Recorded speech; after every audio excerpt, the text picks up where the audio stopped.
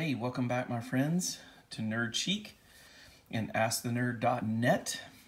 So glad you could join us today. I'm setting up my IdeaPad Flex 5 Chromebook 13 inch. So I really like this thing. This has got to be my, one of my favorite machines I've gotten. I needed a new Chromebook. You guys know I've done a lot of Chromebook um, creative videos and tutorials and stuff, but I have not been able to um, do it with the newest quality software as well as well as hardware. So I got this just so that I could do more tutorials and help you guys, especially students and teachers and whatever with Zoom and whatnot.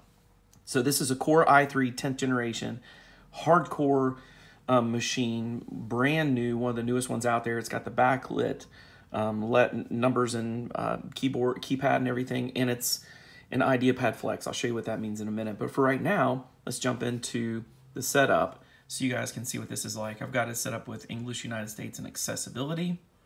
Let's go. And now I'm hooking up to my um, internet and it's going to ask me to do my stuff. I'm going to pause right here while I do it. So you've got to put in your password now when this pops up.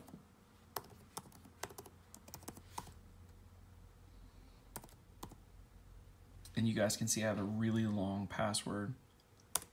And there it is. Okay, it says connection not private. That's funny because it's theirs, it says whatever, but there it comes. I'm gonna accept and continue. You may get weird stuff like that, it happens. Accept and continue. Now it's checking for updates. It's gonna run those updates, download whatever's needed, and now I can sign into my Chromebook. I'm going to press pause again and sign into my Chromebook. Now I've signed into my Chromebook. It's asking you for a two-step verification. I'm gonna pause that real quick. Let me say this, the two-step verification, when it pops up at this point, you're gonna go into your Google Chrome um, or your Google login on your mobile device if you've got authentication set up and it's gonna give you a thing. It's gonna ask if you're trying to sign in, you click yes. And now I've done it on my mobile device. It comes back over to here I encourage everybody to have dual authentication set up. You know, it's super important to make sure you're secure, especially when folks nowadays can find your email and find out who you are and all that kind of stuff. Now, I'm signed in, so I've done my dual auth, I've gotten my code, I'm signed in. And then you can do Chrome Sync or personalized Chrome services. So you can Chrome Sync your bookmarks, history, passwords, and other settings, sync to your Google account so you can use them on all your devices and then it says Google may use your browsing history to personalize search ads, whatever. Now, if you want to do that, you can. I'm going to review sync options before setup. I'm going to do this. And I want this, yes. I can back up to Google Drive, easily restore your data, switch device anytime you're back up, whatever. I'm going to do that. It says back up to Google Drive. You can turn off location if you want to. Um, but I think I'm good with that. You can review to look at your Google Play options. It says use location, it says allow apps and services with location permission to use your device's location. Google may collect location data periodically and use the data in an honest way to improve location accuracy and location based services. I personally, if you've got a minor using it, I would turn this off versus have it on. It just is what it is, and then you can enable as you want to. I would maybe turn this off as well so it's up to you, but I'm going to accept the rest and leave it like that. And then it says I can install apps from my other devices. And so I will do that. Um, but I'm not going to worry about it right now. I'll click retry real quick. Nope, I'm going to press skip.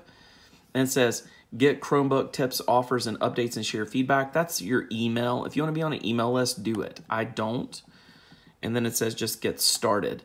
And so now everything's doing what it needs to do. Now I can I, I can review all of my services.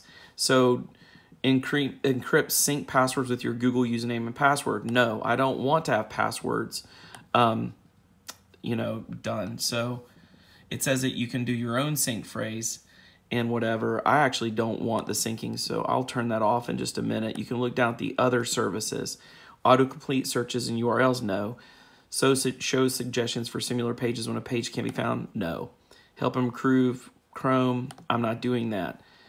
Um, no, I'm not going to send the URLs. This is all because I want to keep myself protected from any extra information going to all this. Now I'm going to go over here and manage sync because it says sync everything. I don't want to sync everything. There's some stuff I don't want to be synced. Like I don't want to sync, turn this off. I don't want to sync passwords. I don't want to sync addresses and payment information and phone numbers. I don't even want to sync payment methods, right?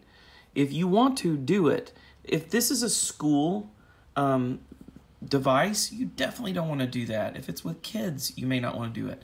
I don't mind if this stuff is synced. That's fine. I'm going to minimize this. And then it says I can remove the, the Play Store if I want to. I'm not going to. I want it to be here. And so pretty much this is the safe features. Now something else is cool here. Look at this, Linux. Look, you can run Linux tools, editors, and IDEs on your Chromebook.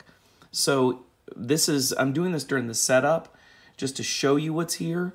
But personally, I would do this if you're a developer. It's really cool. Look at all this. It's really incredible. But anyway, so that's pretty much it. You can go through each different thing you want to in the settings and make sure things are the way you want it. But at this point, this is really how easy it is to set this up. Personally, I keep it as safe as possible. I don't share my passwords across or whatever. I use a password manager.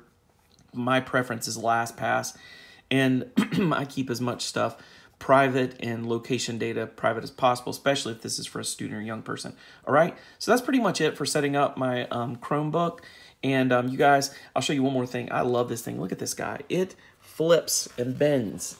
It's so cool, and it flips the view when you do it.